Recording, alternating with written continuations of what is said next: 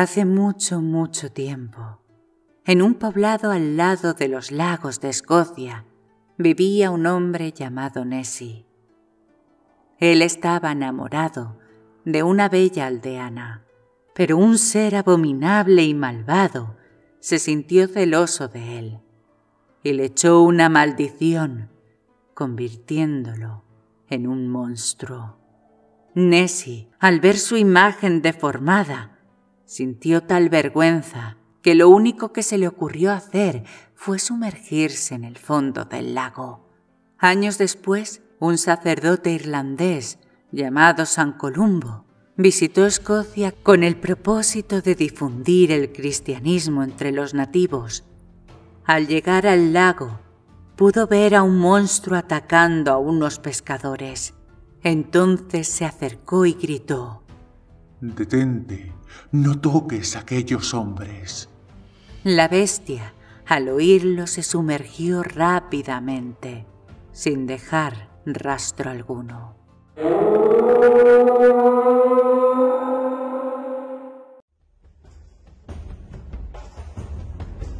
De entre todas las leyendas de Escocia, seguramente la leyenda del monstruo del lago Ness sea la más conocida. Y es que ya son muchos los que se han acercado hasta el lago, con la intención de avistar a Nessie entre sus oscuras aguas. ¿Existe el monstruo del lago Ness? Esta es la gran incógnita que aún se mantiene en nuestros días. Hay quienes se definen como firmes defensores de su existencia y quienes se empeñan en encontrar explicaciones a los múltiples avistamientos que tuvieron lugar a lo largo de los siglos, como por ejemplo, que eso que la gente dice ser Nessie son en realidad troncos, pájaros, peces y hasta olas. Fíjate si hay controversia, que hasta existen escépticos que se atreven a afirmar que la leyenda de esta misteriosa criatura solo se mantiene para atraer el turismo y favorecer el folclore local. Exista o no, el monstruo del lago Ness lleva siglos despertando curiosidad, y ya son muchos los que se han lanzado a intentar comprobar su existencia.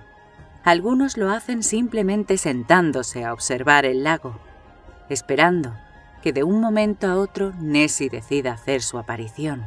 Otros han ido más allá. Por ejemplo, la operación Depscan se llevó a cabo en 1987 y el objetivo era buscar en el lago algo grande que se mueva. Duró tres días y se movieron dos docenas de lanchas provistas de sonar por todo el lago Ness, para finalmente no encontrar ni rastro de Nessie. También estuvo el intento de la BBC en el año 2003 Sí, hizo que 600 haces de sonar recorrieran el lago con una precisión óptima, intentando evitar que la criatura pudiera esconderse detrás de cualquier roca. En este caso, tampoco encontraron nada extraordinario, más allá de una boya enganchada a unos cuantos metros bajo la superficie.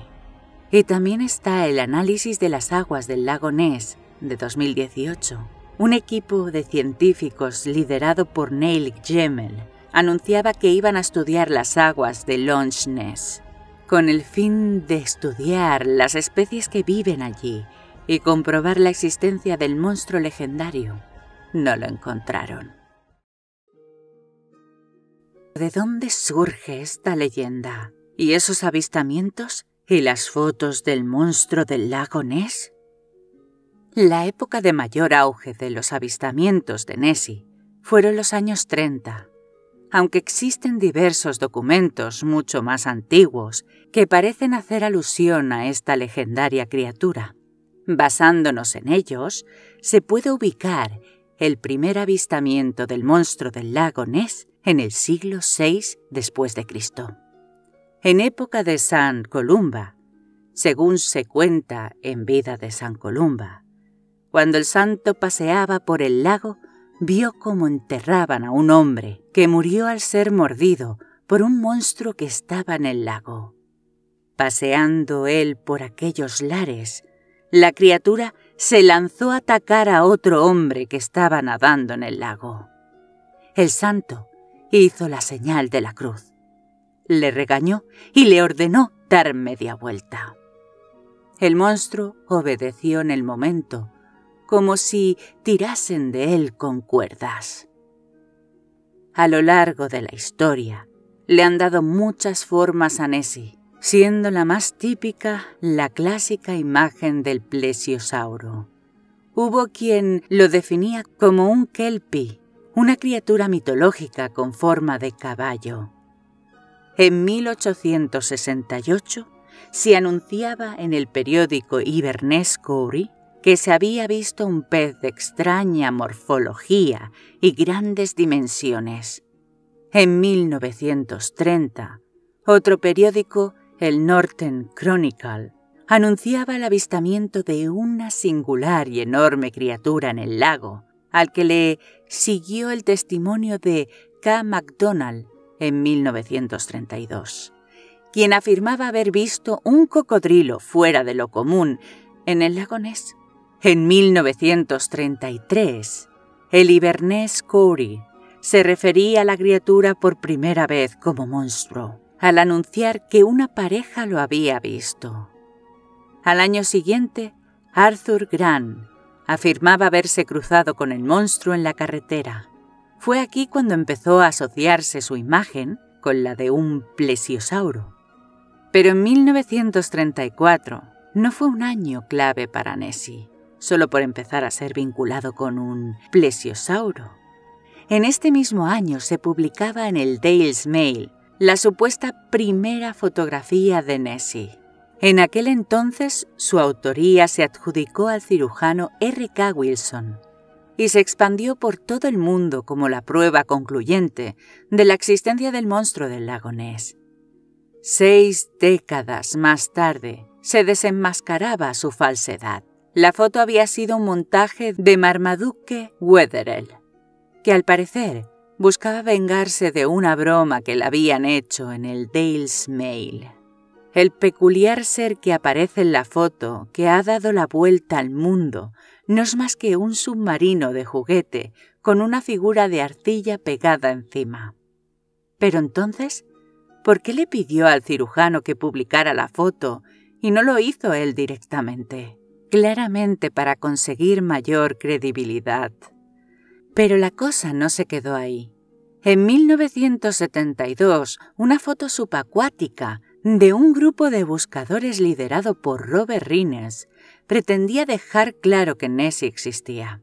Para su expedición usaron un radar y llegaron con su cámara subacuática con la luz de alta potencia hasta la oscuridad de las profundas aguas del lago una de las múltiples fotografías que sacaron, en las que se apreciaba una figura parecida a un plesiosauro, dejaba ver lo que parecía una aleta romboidal, una prueba irrefutable de la existencia del legendario monstruo. La noticia gozó de tal credibilidad que, tres años más tarde, el naturalista Sir Peter Scott le puso su propio nombre científico a Nessie Nesiteras rhombopteryx y lo incluyó en el registro británico de fauna protegida. Si te estás emocionando con que entonces está claro que es real, mm, déjame decirte que si cambias el orden de las palabras, la frase dice Monster Oax Big Sir S., lo que viene siendo algo como monstruo de broma hecho por Sir Peter S. Pero ¿Y las fotos? En aquella época ya se llevaba la modificación y el retoque de fotografías, y esto fue una prueba más de lo que podía hacerse con un ordenador. Hasta el año 2014 parecía no haber rastro de más avistamientos de Nessie, hasta que Andrew Dixon, con la ayuda de Apple Max, consiguió descubrir al monstruo más legendario de la historia. En un primer vistazo al lago Ness no veía nada raro, pero al hacer zoom se encontró con una extraña silueta que parecía corresponderse con la figura de la famosa criatura. Finalmente, se descubrió que pertenecía a la estela de un barco en movimiento, concretamente la del Jacobite Spirit. Pero dos años más tarde, volvía a armarse revuelo alrededor de esta leyenda, al encontrarse en el fondo del lago lo que parecía ser Nessie. Y Nessie era, pero el enorme modelo que habían usado en la película La vida privada de Sherlock Holmes, que se había hundido durante el rodaje.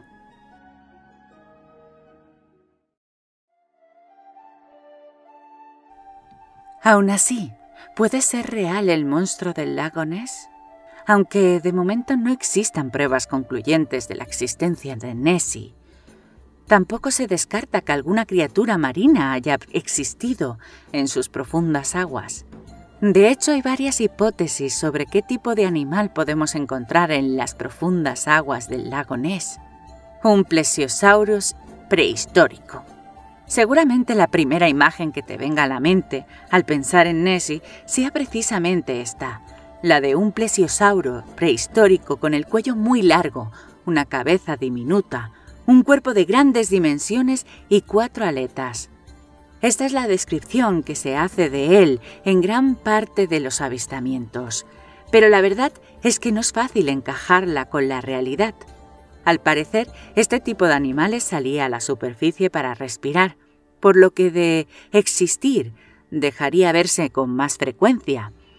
Además, para que aún existiera un Nessie en las aguas del lago Ness, se necesitaría una colonia de ellos, y teniendo en cuenta que las dimensiones del lago escocés no son suficientes para darle alimento a toda una colonia, y que éste estuvo totalmente congelado en, en el Bourne, la cosa no pinta fácil. Sin embargo, los defensores de su existencia recalcan la salida del lago Ness al mar, lo que permitiría al animal ir y venir cuando quisiera. Un caballo, un elefante, un esturión. Algunos de los avistamientos describían otro tipo de animales, como era kelpie. Otras formas coinciden con la descripción de un elefante, hay quienes hablan de un pez enorme que bien podría corresponderse con un esturión gigante o incluso un tiburón boreal. También afirman que todo se trata de una pareidolia, un fenómeno psicológico por el que la mente responde a un estímulo visual o auditivo percibiendo algo que realmente no está ahí. Pero eso no nos quita la fantasía de nuestro monstruo del lago Ness, y en series y películas y en libros lo hemos visto plasmado durante toda nuestra vida. Es por ello que la imagen de Nessie que tienes en mente no es fruto de la casualidad, ni de que hayas leído millones de leyendas escocesas. En gran parte de las series de animación de la televisión, del cine y hasta en los videojuegos, es que Nessie tuvo grandes roles en la pantalla. ¿No los recuerdas? Mm, hay un capítulo de Los Simpson, el capítulo de Monty Buy My Love. El señor Barnes manda capturar a Nessie, algo que consiguen drenando el lago Ness.